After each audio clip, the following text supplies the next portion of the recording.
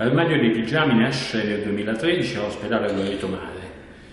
Viene eh, creato per un'assistenza alle persone povere o comunque sole che in, nel momento del ricovero dell'ospedale o non hanno assolutamente come eh, mettersi a letto, pigiama, biancheria,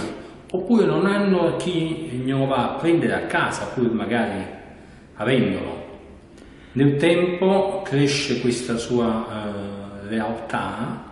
e iniziamo a distribuire acqua, che è un'esigenza, un'acqua un minerale che è un'esigenza per i ricoverati che sono soli, che non hanno chi la può andare a prendere ai distributori, o cui chi la può andare a comprare al bar,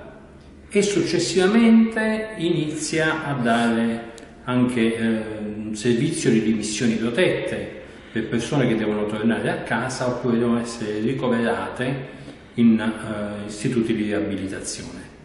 Dal momento dell'inizio della pandemia del coronavirus abbiamo iniziato anche un servizio di assistenza a famiglie di anziani e disabili, eh, non anziani e disabili, ma persone anziane che hanno figli disabili, quindi avevano difficoltà a uscire di casa per paura e allora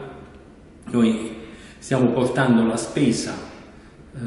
a queste famiglie, stiamo dando un servizio di assistenza sanitaria, di piccola assistenza infermieristica a queste famiglie, l'ultimo servizio che dà la cappellania all'interno del progetto dell'armadio dei pigiami è partito proprio sabato, siamo riusciti ad attivare alcuni posti letto in due case per, per infermieri e medici che non vogliono tornare a casa per paura di contaminare i propri cari.